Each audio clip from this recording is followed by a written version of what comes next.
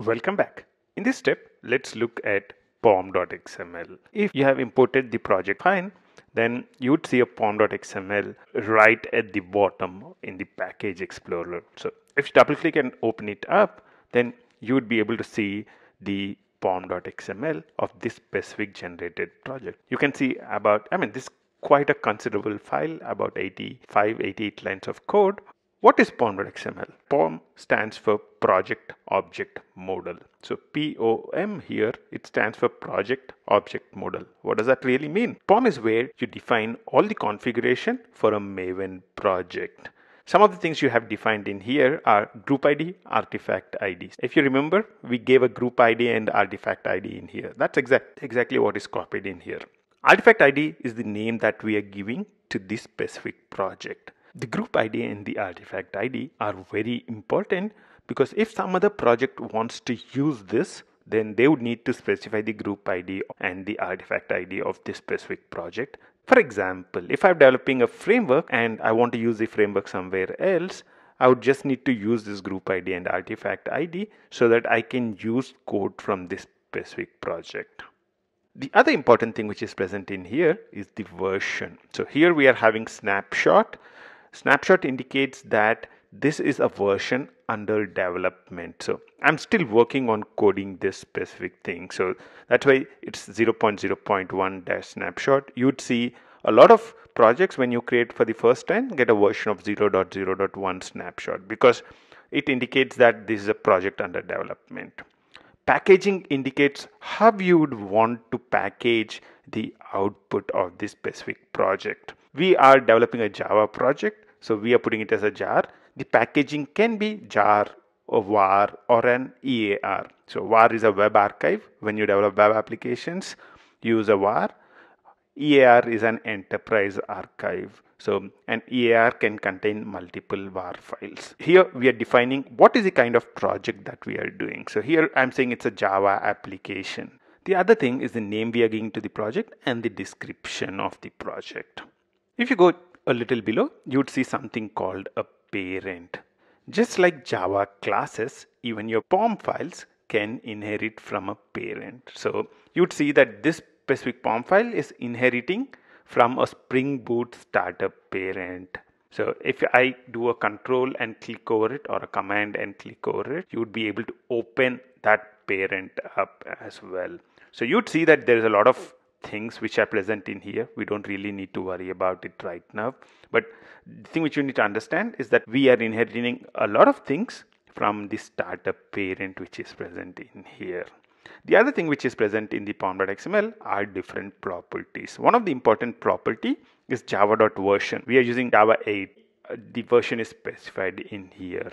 The most important things that are present in a pom.xml are what are called the dependencies. If, if I want to develop a web application with Spring MVC, then I would need Spring MVC, I would need Spring Framework, I would need a lot of other things. These are all called dependencies. In the pom.xml, you specify all the things that you would need to develop your project. So in this project, in this web application, I would want to use Spring Boot Starter Web. So that's one of the dependencies that we are added adding in here.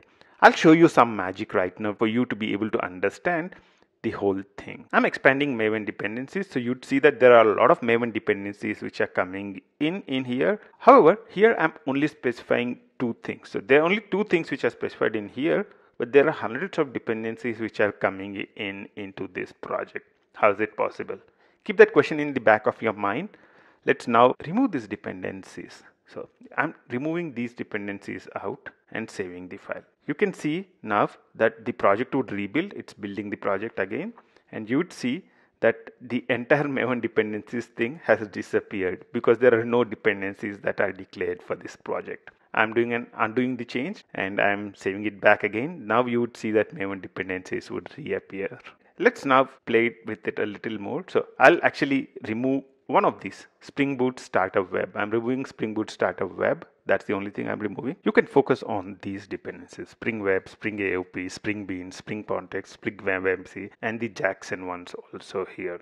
you'd actually see that when I remove it, when I remove this dependency out here, a lot of these dependencies would also disappear. So it's building the workspace still and you can see that a lot of those dependencies have now disappeared. Let's slowly understand all this stuff. The dependency that we have here is Spring Boot Starter Web.